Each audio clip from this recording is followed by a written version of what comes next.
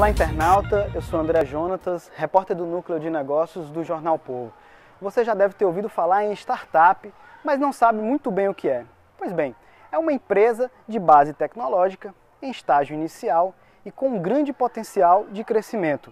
O Ceará está entrando na era da economia exponencial e o povo mostra alguns desses projetos exitosos, como a Agenda Kids, que está transformando radicalmente a relação entre escolas e pais de alunos.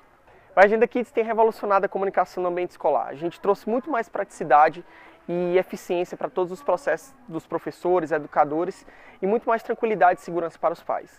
Hoje em dia, com, com apenas poucos cliques, eles conseguem apontar todas as informações do cotidiano escolar dos alunos e esses pais vão receber em tempo real, por meio de computadores, tablets ou smartphone. Bem-vindo à era digital, esse é o Agenda Kids na comunicação escolar. Por meio de computadores ou tablets em sala de aula, os professores podem alimentar todas as informações relativas ao cotidiano escolar do aluno, como atividades, comunicados, até mesmo planos de aula.